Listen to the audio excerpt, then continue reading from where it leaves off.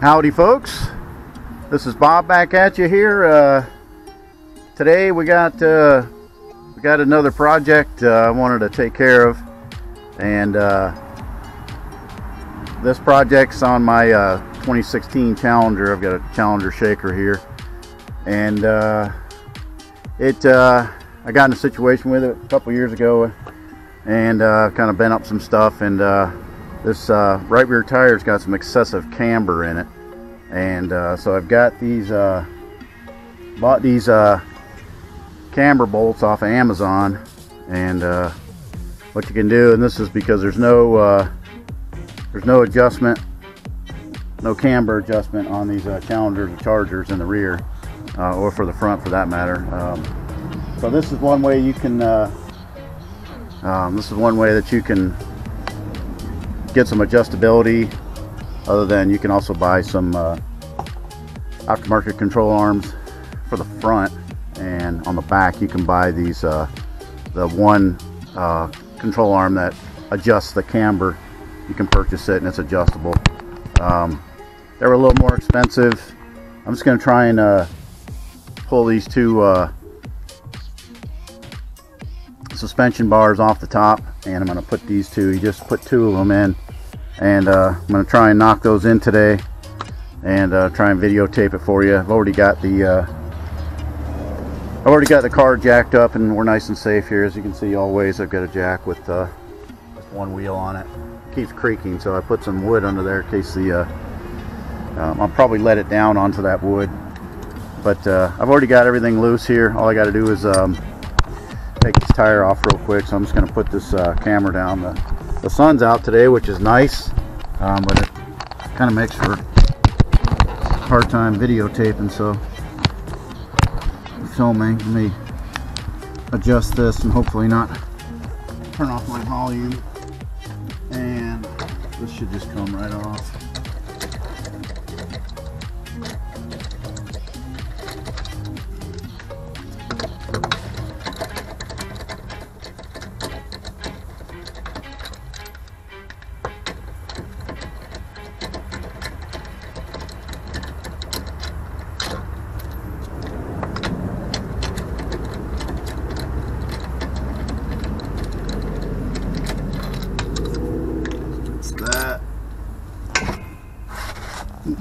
Jack popping. Hopefully it doesn't fall down.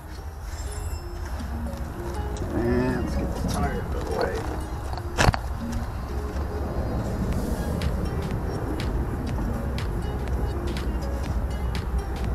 Yeah, I had another set of tires on here and they, uh, well they did last 10,000 miles. They were used tires. So, um, but I've got these, uh, I had another good set put on and I don't want them to wear out right away. So um, you can see this control arm here I've got to take off and then this uh, suspension arm here I've got to take off and replace both these bushings here with the camber bushing. So I'm gonna get at that real quick and uh, and we'll see how hard it is to I know these are 18 millimeter bolts so I'm only gonna do one at a time because I don't want the uh, suspension to fall apart on me. So I'll probably start with the um, the main one first.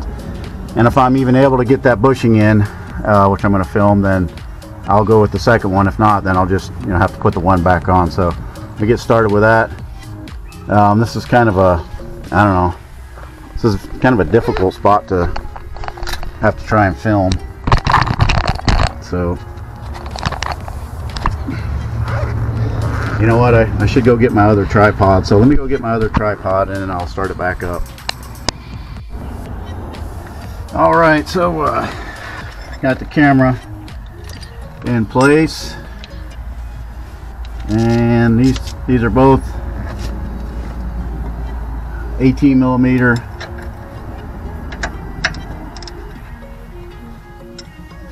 which I might even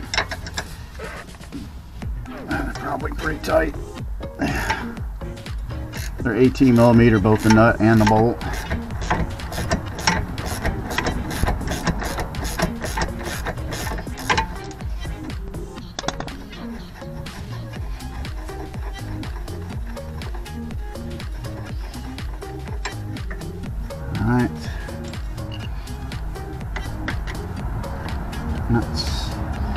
Loose. So all we got to do is get this one off its let's see if I got the right see if I got the right tools here to I might have to go get a one of my swivels see.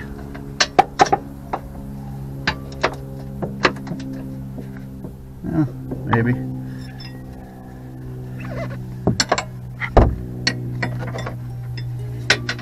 beautiful day today eh?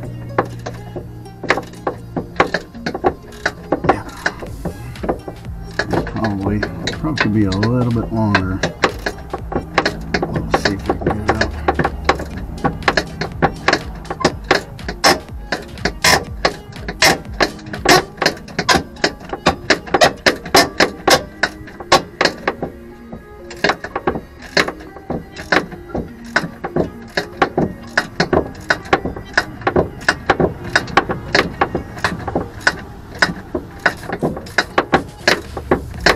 Rebuilt the whole back end of the car with uh, parts that I bought off of uh, from a salvage yard in Florida. And I did not change out the cradle. I changed all the suspension components uh, but I didn't change the cradle. And I believe the cradle is tweaked. I, I, I know it's tweaked because if it wasn't tweaked, I wouldn't have excessive camber on this side. So I, although I do have a cradle, maybe that'll be a video for another time. I think uh, the quickest thing to do is just to try and put these bushings in. We'll see how that goes.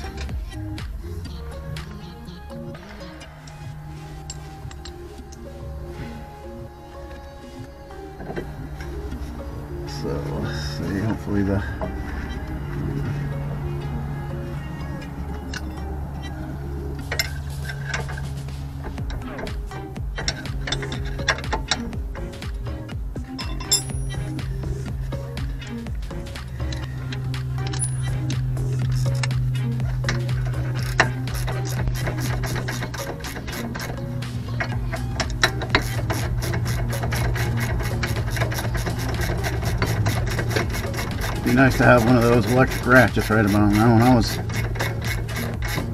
had all kinds of cyber deals, but Black Friday, but I didn't see any of those on sale. So here I am again with wrenches.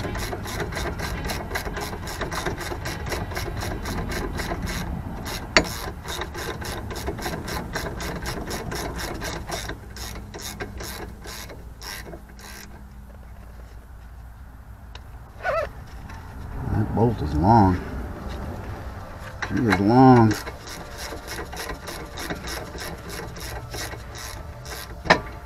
There it goes. There was a little pressure on that. It's kind of weird because that it popped like that. That's actually huh. that's kind of weird because It's probably actually where it needs to be. I don't know if I can get a shot of this, but you can see when it the axle popped, I still have the one bracket on. You can see the holes don't line up. And so I may I may get away with just doing one of these because you're supposed to do this one and this one. But because of uh, because of the damage to my uh, cradle, I might be able to get away with just doing this main one right here. Because this one needs to be longer because it the suspension kind of popped in place. Of course it does rotate though. Don't know. I don't know. It's, it does, I guess it does kind of, when you push it back up, I guess it kind of wants to be right there, but I don't know. I'm gonna get this bar off here and uh, just like that.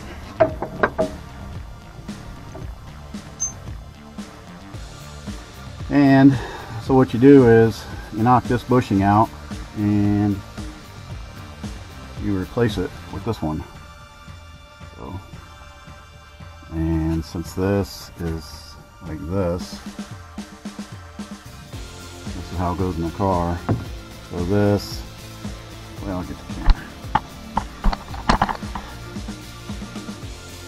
So basically you can lengthen the rod by putting this bushing in like this and makes the hole more forward and gives you more more camber more uh, positive camber I believe it is pushes the top of the tire out. So let me uh, get my stuff ready to try and uh, press this in and uh, I'll start it back up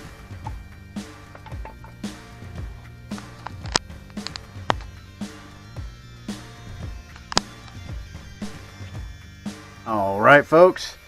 I'm back again and uh, I've got my uh, DIY here uh, uh, bushing press set up and I had to cut uh, I had this left over from uh, when I replaced the um, bushings in my control arms on my 65 Fury and I have yet to post a video of that because I did it a couple years ago and I don't know if I still have it. But anyway I've got a 30 millimeter socket here and I've got just a plate here. It's like a concrete anchor plate. And then another thick washer on the back side. And what that allows me to do is um, and it's just a you know standard bolt. I actually think this bolt is uh, from the uh, one of the leftover from the suspension.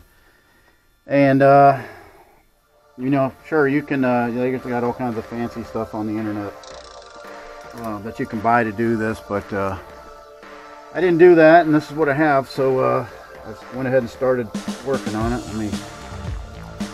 And I think it's, uh, let me see if I can get this uh, bearing out here and get in a position where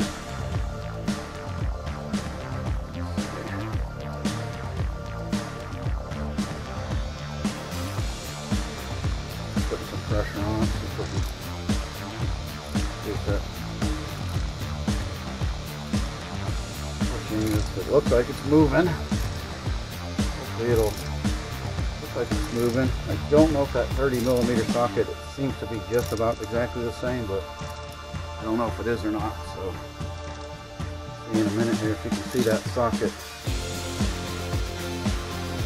Socket's getting closer to the control arm. Make sure you uh,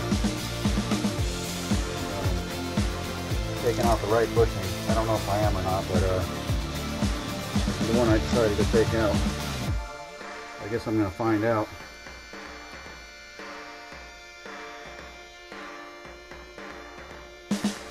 Now you can take this to a machine shop or probably maybe one of the local garages and they could probably press them out and press them in for you.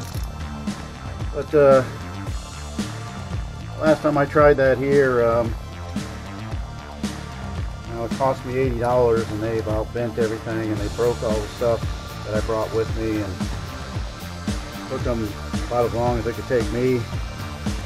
And uh, they still charged me $80 so that won't happen again. So don't know. The only thing that I don't know uh, I think I'm gonna have to try you can see now the socket's close to the uh, bushing. It's, I mean, it's the socket's right on top where there used to be a gap there because it's pushing the bushing out.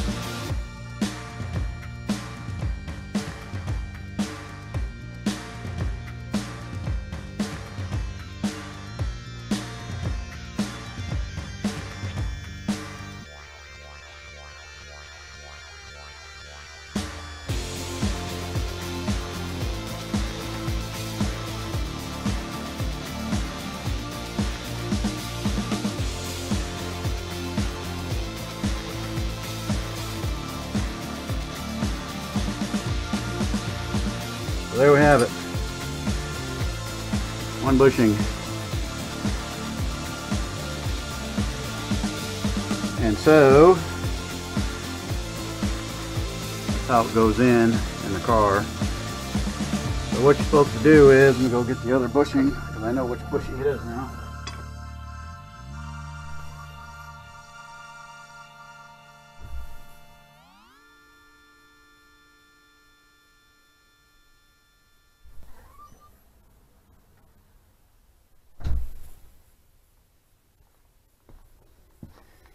It's this bushing here, which is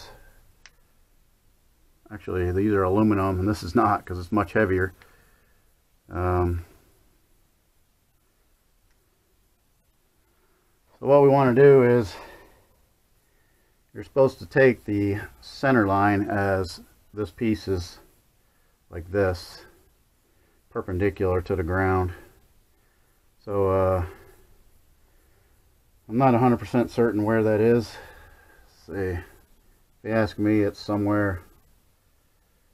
Where's my level? Get my level. No level in here. Here it is. So let's take this level, and well, while I'm at it, I might as well get a marker.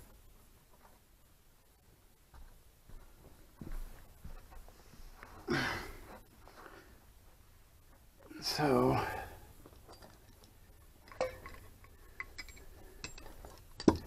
this piece we're kind of like this because you're, you're supposed to measure it kind of level.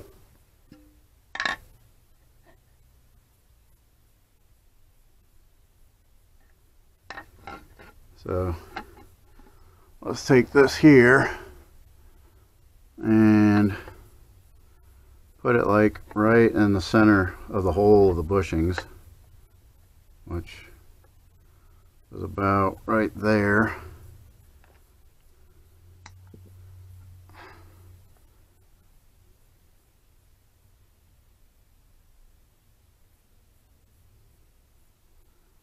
Well it really doesn't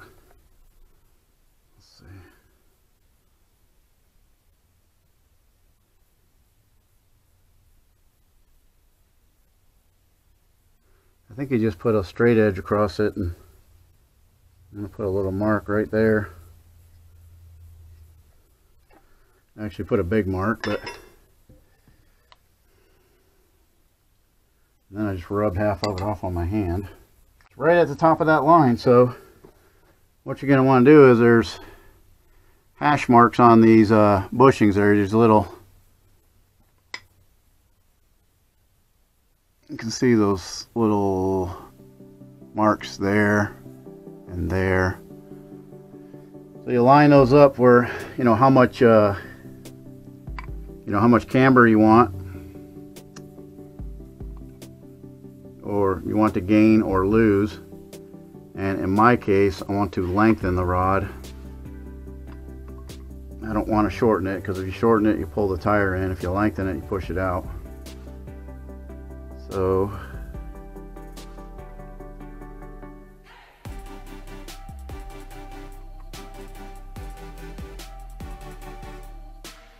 unfortunately these are made to like the hash marks are made to like line up for negative camber and I need positive camber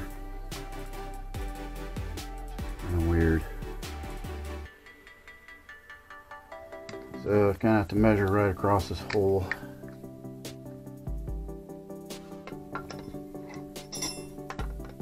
Get another mark right there. Right. I put a mark there and I want to put a mark here. I don't know. Just a mark through the basically through the center of the hole.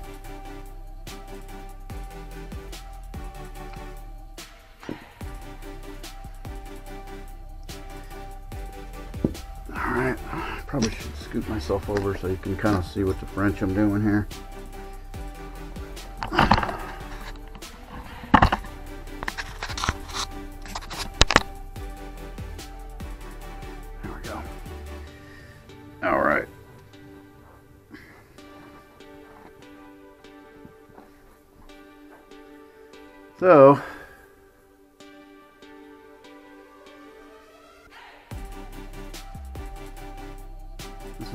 Installs. This is the inside of the car, this is the outside. Basically, I want this bushing to be like this, and with that line that I made, I need it to be right at the top of the mark that I made on the control arm. That's going to give me the longest, the longest position on this control arm. So I'm gonna set it up like this. Uh-oh. Battery's running out already. Gonna kind of set that up just like that. And I'm gonna set my press up. Uh, I need this one.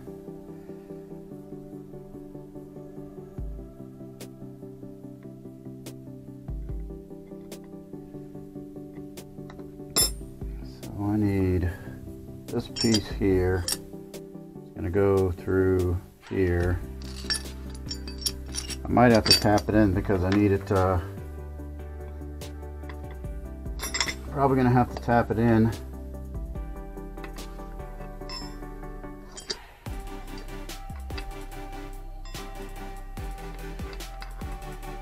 This thing, this piece is about awkward as anything. So I'm gonna see if I can tap it in just a little bit. Tap tappy with my three pound mallet. And uh.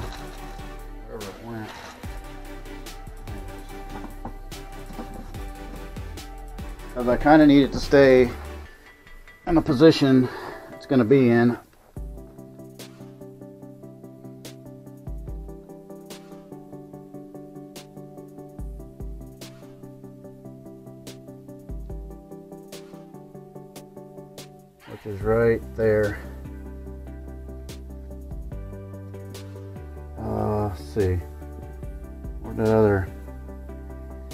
Socket go?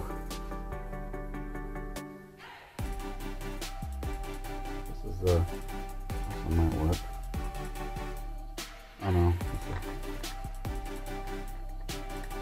That one might work. Step it right there.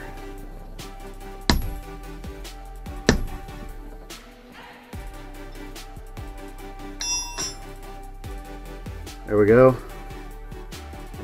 Very square, but it's at least it's in there. Need to hit this side. So you can see I got it started.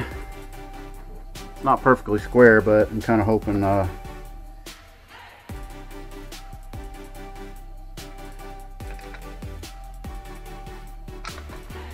actually fits over there pretty good.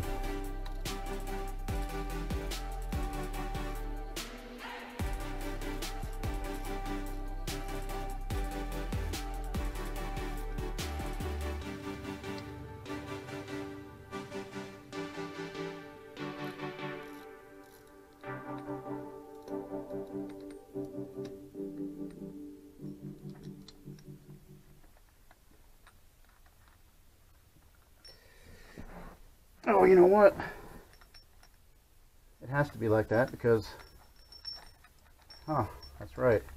The, um, didn't even think about it. Because the bolt's not in the center, this is never going to be lined up perfectly straight.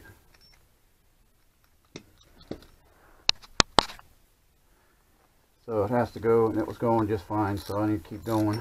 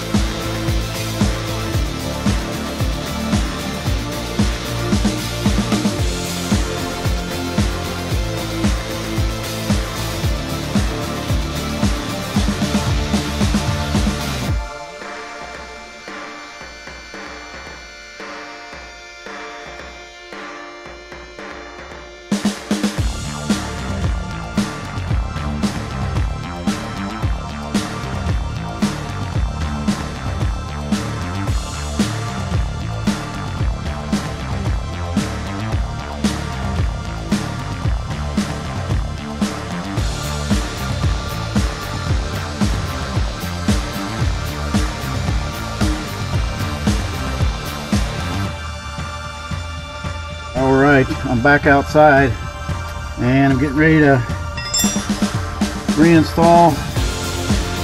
You can see I got it pressed all the way in.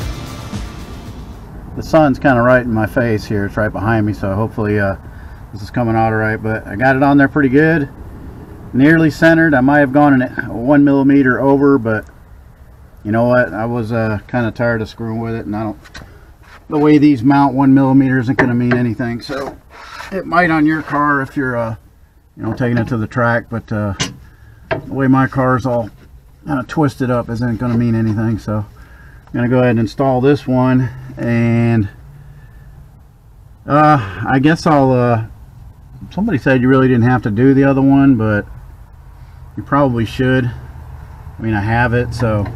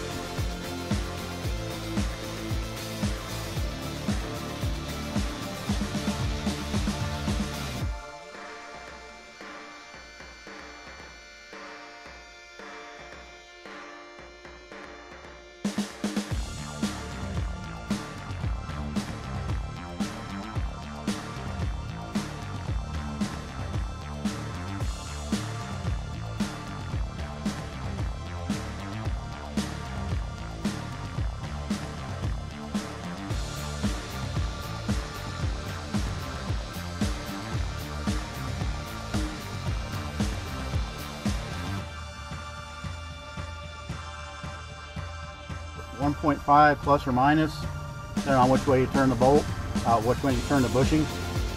And uh, they give you the you know two bushings for both arms in the kit. And uh, once again, kit bought off Amazon. And yep, you can do this yourself. Just get out there and get her done. Give yourself a couple hours. You know, if you get everything lined up in advance, uh, unlike I did. 18 millimeter socket and wrench, D12, maybe a swivel, a couple of jacks, some wood, and uh, the press stuff that you saw. Either buy yourself a press, take it and get it pressed, or you know build your own like I did, DIY, and that's pretty much all you need. So hope you got something out of this. Like and subscribe. Smash the like button. Doesn't cost you anything. Subscribe to the channel. Try and grow it. Thanks folks for watching and uh, have a great day.